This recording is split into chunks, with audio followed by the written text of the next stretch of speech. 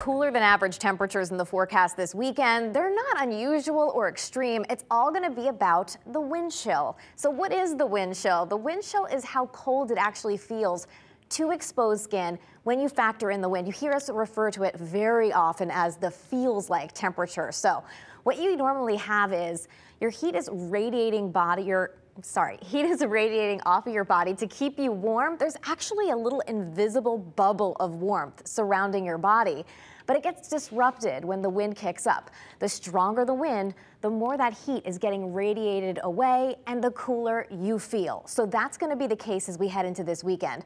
One way that you can negate the wind chill factor entirely is if you're all bundled up.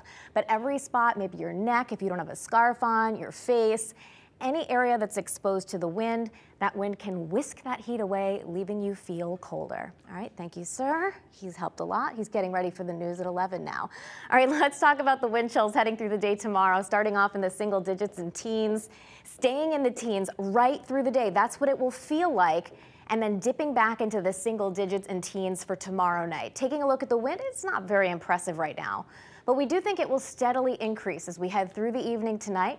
It will increase through the day tomorrow, and it will probably be the strongest heading into Sunday morning. We could see gusts up around 35, 40 miles per hour. The cold is far from our minds today. Today's highs were in the 40s, upper 40s for Groton.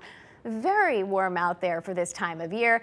So we're going to start getting back in the other direction with below average temperatures. Lows tonight dropping back into the low to mid 20s for most. There could be a few spots in northern Connecticut that drop into the upper teens as we head towards daybreak. And tomorrow we're talking about highs in the 20s. The average high for this time of year is in the mid 30s. So again, we're shooting below that number, but it's not just this. It's also the breeze. Winds out of the northwest at 10 to 20, and there could be gusts up to 30 or 35. So that'll make it feel like the single digits and teens in the morning, like the single digits heading into Saturday night. You're trying to have some dinner. Maybe you're out walking the dog for one last time, and this is what you'll want to dress for. But the coldest time will probably be heading out the door early on Sunday when wind chills will be near zero, and I wouldn't be surprised in the hill towns if we had some wind chills that were below zero. High temperatures on Sunday will be up around 30 degrees but it will be windy and possibly even more blustery than what we're expecting for tomorrow. Then we're dry during the day on Monday. No concerns there. But we're on the weather watch as we head into Tuesday. We've been talking about this storm the last couple of days and trying to figure out are we going to get more of an indirect impact or a direct impact. Right now, it looks like the accumulating snow is more of a lock in areas for Pennsylvania down through northern New Jersey. For us here in Connecticut, I think we're going to get some fringe effects out of this in the form of some light snow or some snow showers. Now, there is a chance that we get some accumulating snow here in Connecticut. If we were to, though, I think it would be fairly minor. Of course, we have a few days to keep an eye on this, so you can bet Sam Samperi and Rachel Piscatelli will keep you posted on this throughout the weekend.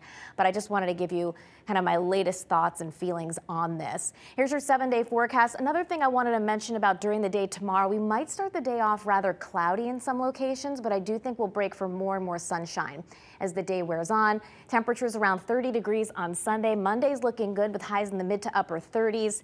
A chance for that snow or snow showers on Tuesday, depending on how the system wants to track. Maybe some minor accumulation there. Close to 40 on Wednesday. And again, we're seeing temperatures that will stay generally near or even at times a little below average as we head through much of next week, which is different than what we've seen for, well, most of this month, guys.